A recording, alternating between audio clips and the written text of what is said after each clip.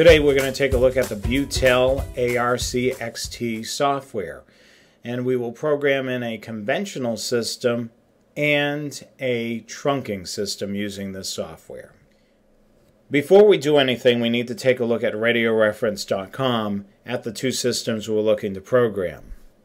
So what we will do is we're going to program here at Scanner Master, we're going to program in Holliston, Massachusetts, which is listed under Middlesex County. So we'll click on our state and then our county. And then once we have the county page pulled up, we'll scroll down and look for Holliston. All the cities and towns are in alphabetical order, and we will see Holliston right here.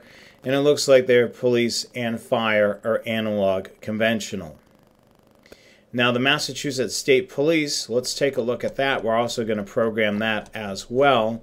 So we will go back to the Massachusetts main page and then we will go and look over here, choose by agency, and we will look for the state police, which is right here. Now it looks like um, they have two trunk systems. I know that this section of the state is under the analog system. A new digital system is being built out, but it's not quite here as of yet. So we're going to click on Massachusetts State Police. Now the first thing to note is all of the uh, towers that are that are around. The one that we're going to need is the Central Massachusetts Tower. We're going to program that one in.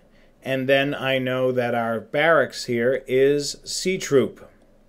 So I'm going to program in these talk groups into the scanner. Now that I've done my research, I will go back to the software now. Now back at the software, we're going to go up to the Internet tab and then click on Radio Reference. Now this dialog box pops up and we will hit Connect. If you haven't already, please enter your radio reference username and password here and then hit Connect. But I'm already uh, in the software so I don't have to enter in the username or password. So now I will go to select state and then scroll down to Massachusetts.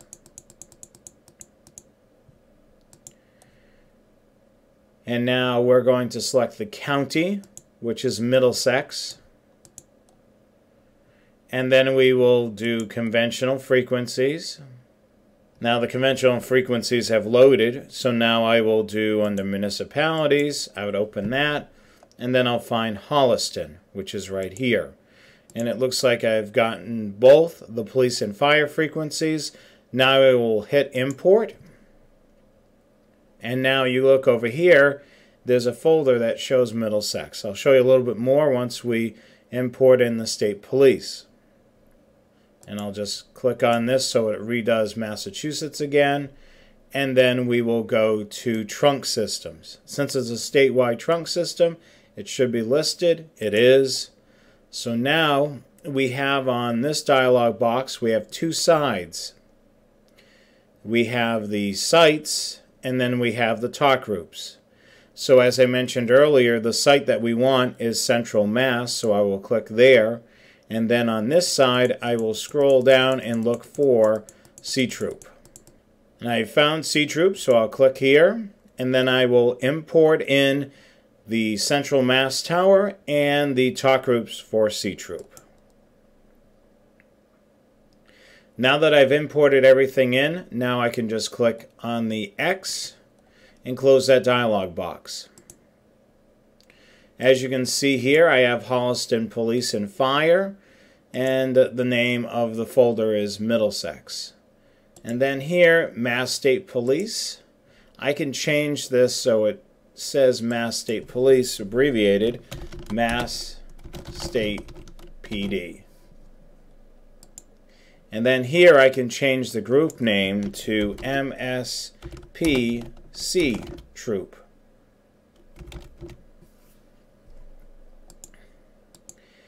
Any of these locations you can clean up things. Um, you can change alpha tags here if you like. Um, for instance, I'll do it up here.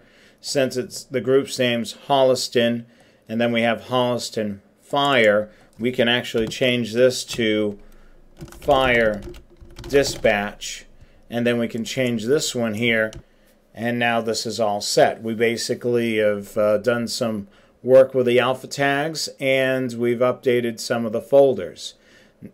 One last thing we want to do is we want to set this so it's got a system quick key.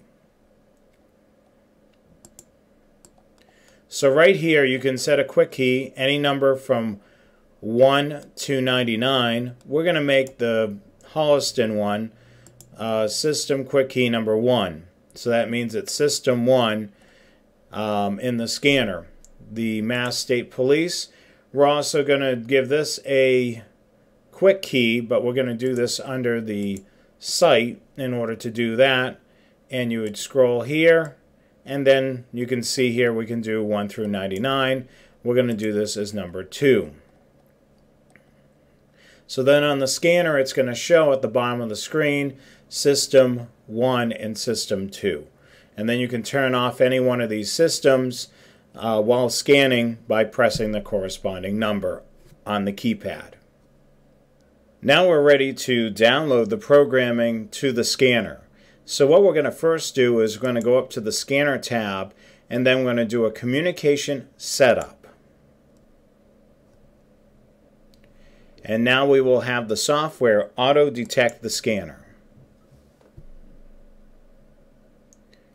And it looks like the ARCXT has successfully detected our scanner.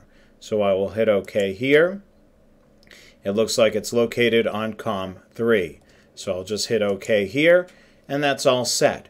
Now I will go to Upload to Scanner. Click there. And now what I want to do is select all. So we're going to program both of these systems.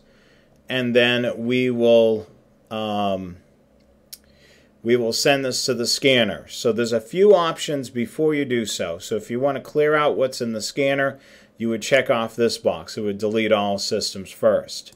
Um, if you have these systems already and you made some minor edits, you would click here to overwrite systems with same name.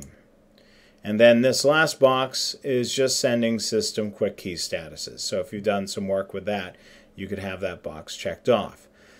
We don't need any of these boxes checked off for this uh, programming session, so I will hit Send to Scanner. So right now it's sending to the scanner. And once the dialog box closes, just like the way it did, that means that the scanner has been successfully programmed. So you officially have programmed your scanner.